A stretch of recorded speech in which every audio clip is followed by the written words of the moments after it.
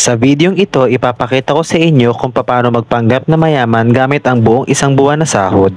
Nagpunta nga pala kami sa food club sa Ayala Malls, Manila sa may Pasay para i-celebrate ang birthday ng aming pastorlito na nagbida sa pelikulang pinamagatang Alugin mo ang marupok na silya ko. Charot.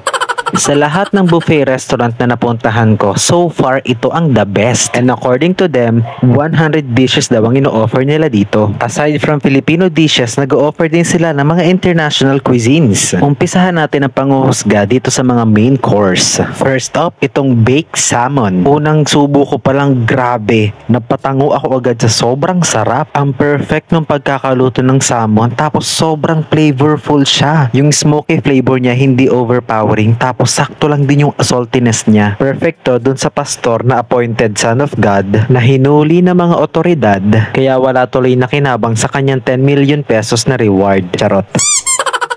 Isunod natin itong roasted beef. Ito, another winner. Obvious naman sa ekspresyon ng mukha ko, sobrang satisfied ako. Ang lambot ng pagkakaluto ng beef tapos yung gravy nila sobrang complementing dun sa karne. Magugustuhan to nung friend mong may ilang buwan ng kachat na afam na biglang naging sad nung hindi na siya nireplyan dahil hindi pala siya ang balak pakasalan.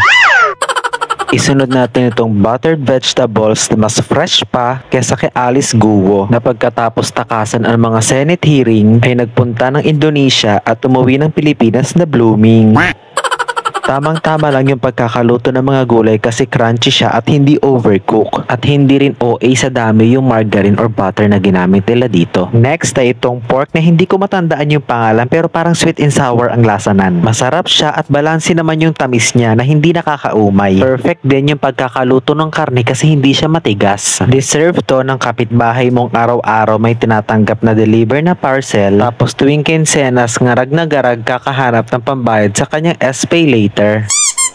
Dito naman tayo sa fish. I'm not sure kung anong klaseng fish ang ginamit nila dito but I think it's cream dory. Ang problema ko lang sa mga cream dory ay masyadong nakakauma yung karne niya kapag ka-overcook. But this one, nabigyan naman nila to ng hostisya dahil hindi dry yung karne at hindi rin nakakaumay. Deserve to ng mga staff ng isang restaurant sa Tagaytay na pet friendly daw pero pag aspin ang pet mo biglang hindi na sila allowed. What?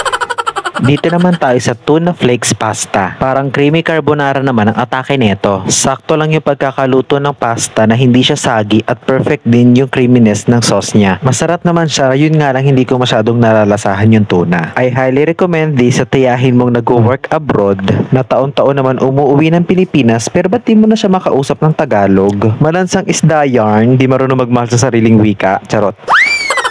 And lastly, para sa episode na to ay itong beef mushroom pasta. Ito grabe winner din to. Perfectly seasoned at sobrang eye-catchy din ng fusilli pasta na ginamit nila. Tapos yung vegetable sa pasta na to sobrang nakatulong para makadagdag ng texture. Deserve to ng mga staff ng tindahan ng roasted chicken na chooks to go na imbis i-boycott ng mga Pilipino ay mas lalong tinangkilik dahil suportado nila ang pagkakaaresto ng leader ng isang kulto. Charot.